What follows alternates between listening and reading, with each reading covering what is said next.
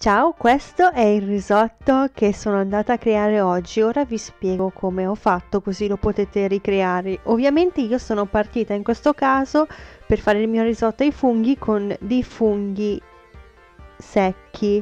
Quindi all'inizio ho dovuto reidratare i funghi. Infatti in una tazza ho messo 350 ml di acqua e l'ho scaldata per due minuti alla massima potenza ovvero 900 watt. Sono andata a travasare la mia acqua contenuta nella tazza dentro la ciotola e ho messo all'interno della ciotola l'equivalente di metà di 70 grammi di funghi secchi ovvero 35 li ho lasciati ad ammollare in acqua per 30 minuti o poco più infatti si sono reidratati questi hanno sorbito e poi ci vediamo con la cottura. Intanto ho preparato anche tutti gli altri ingredienti.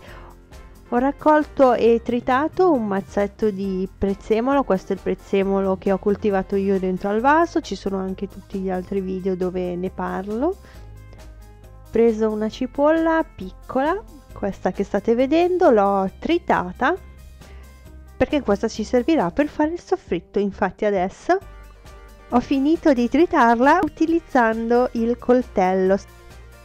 Cominciamo la ricetta vera e propria con il mettere l'olio di oliva in una pentola per fare il soffritto. Dopo aver messo l'olio di oliva ovviamente vado a mettere dentro la cipolla.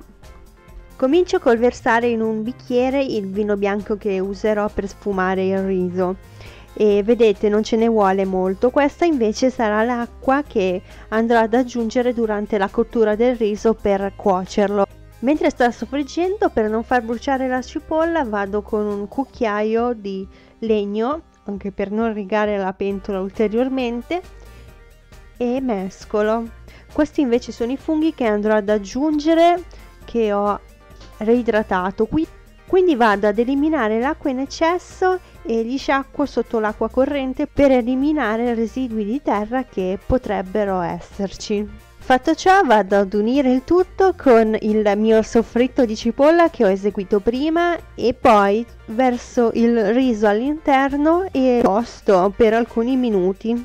Ora è l'aggiunta dei liquidi. Il primo liquido che andrò ad aggiungere per non bruciare il tutto sarà il vino bianco. Dopo aver aggiunto il vino bianco vado di a continuo a mescolare il riso durante tutta la sua cottura e aggiusto anche di sale, non ne metto tanto perché poi andrò ad aggiungere anche i formaggi. Questa è l'acqua che andrò ad aggiungere al riso durante la cottura. La mia acqua è fredda perché io andrò ad aggiungerla fredda a temperatura ambiente. C'è chi preferisce aggiungerla calda perché motiva la cosa come un quando butti dentro l'acqua dentro al riso che sta cuocendo però di temperatura più fredda blocca la cottura del riso. Io non noto questa differenza quindi non ho mai fatto così io la metto a freddo non sento il bisogno di eh, scaldarla. Ecco sto mescolando ancora infatti fare il riso è un continuo mescolare.